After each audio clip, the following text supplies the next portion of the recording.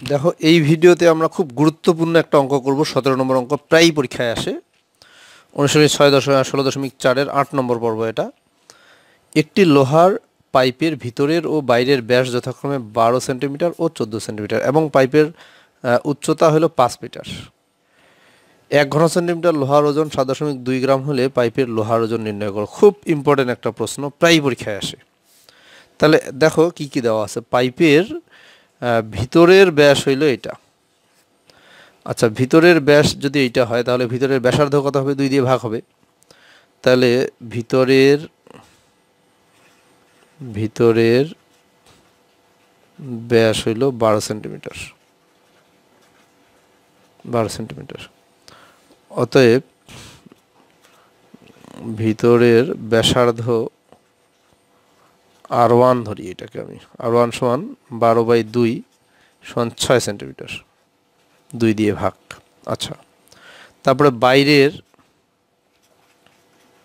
বাইরের ব্যাস কত?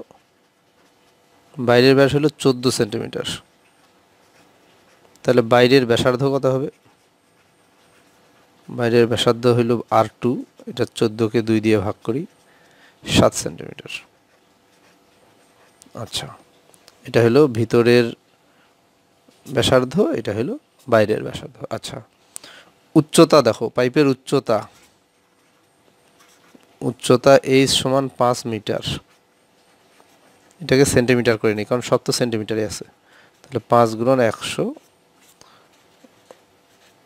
সেন্টিমিটার মানে পাঁচশো সেন্টিমিটার। আচ্ছা। তিনটা জিনিস আমরা পেয়ে গেছি। একটা হইল ভিতরের ব্যাসার্ধ, বাইরের ব্যাসার্ধ আর উচ্চতা। এখন আমরা ভিতরের আয়তন বের করব, বাইরের আয়তন বের করব। তাহলে ভিতরের আয়তন কত হবে?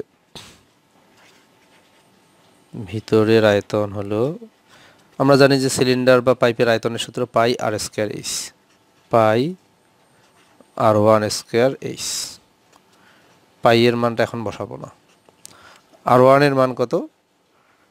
আর ওয়ানের মান হইল ছয় সিক্স স্কোয়ার আর এইচের মান হইল পাঁচশো, উচ্চতা পাঁচশো।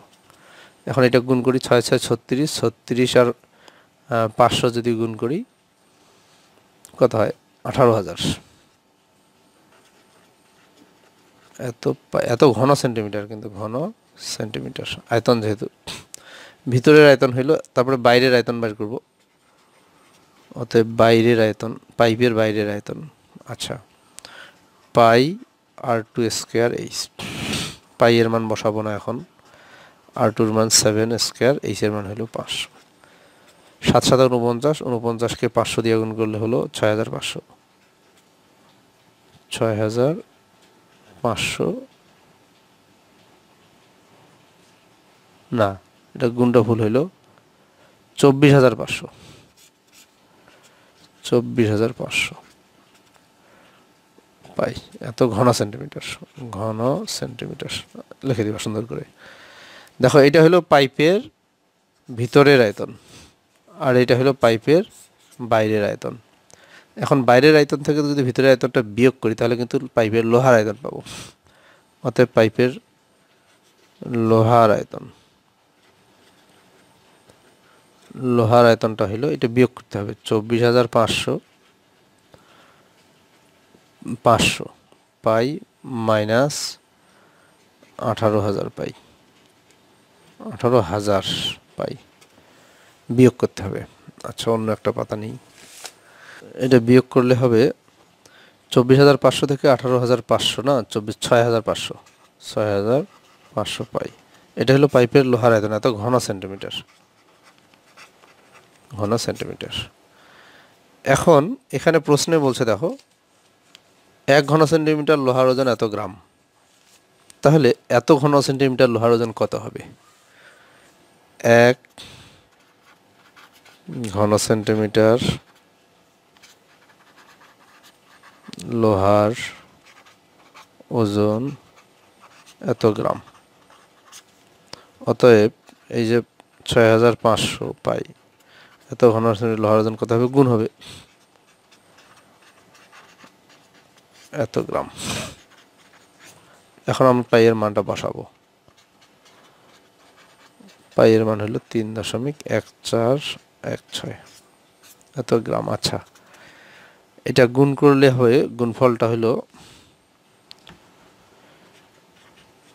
one four seven zero two six point five four এত গ্রাম। আমরা এটা উত্তর লিখতে পারি, আর যদি উত্তরটাকে আমি কিলোগ্রাম করতে চাই, তাহলে এক হাজার দিয়ে ভাগ করতে হবে।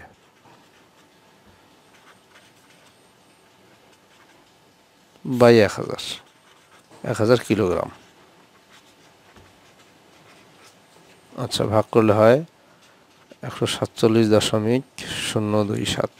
শূন্য দুই ছয় পাঁচ তো আসন্ন মান আর কি। এত কিলোগ্রাম প্রায় লিখে দিবা। খুব ইম্পর্টেন্ট অঙ্ক। তোমরা মনোযোগ সহকারে এই অঙ্কটা দেখো এবং অঙ্কটা বারবার প্র্যাকটিস করিও। ধন্যবাদ সবাইকে।